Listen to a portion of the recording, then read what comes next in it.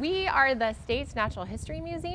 We are nearly 150 years old, uh, but in our new home, we are a museum for the 21st century. In just one month, the Bell Museum will open on the U of M St. Paul campus in a state of the art building featuring a new planetarium space exhibit, and vibrant dioramas. People are astounded by our newly restored and reinterpreted uh, wildlife dioramas. They're really um, truly artistic and scientific treasures, and that through that restoration process, they just like pop uh, with color. And in the Bell Museum, they have this touch and see lab where you can touch and feel everything and also pick up a giant hippopotamus jawbone. There are also stations in the lab where you can learn about different reptiles. Outside the museum, there is a five acre learning landscape which will showcase native plants, ponds, all along a trail.